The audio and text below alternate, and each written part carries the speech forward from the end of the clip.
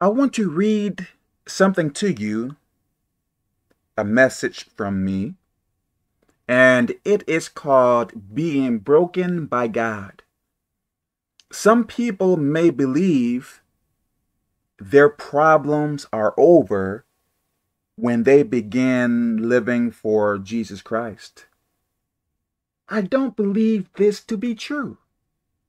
As you grow closer to Jesus Christ, following his rules and changing your personality closer to his, he may stretch and mold you into what he wants you to be. As in, allow problems to enter your life. The stretching and molding may be extremely uncomfortable, but it is necessary.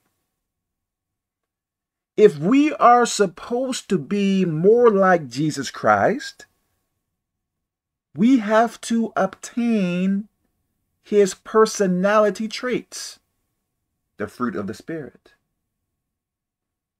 From my understanding, in order to obtain many of his personality traits, we have to be placed in the fire as in go through uncomfortable situations. So, in this manner, our problems are to break us. Not so much for the sake of demoralizing us. I believe this is one of the reasons why we should give thanks to God no matter what happens.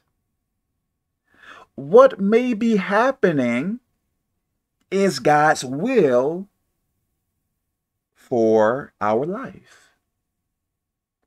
It may be crucial for us to go through certain problems. Just because something is bad doesn't mean it is not coming from God. Please remember this. God bless you.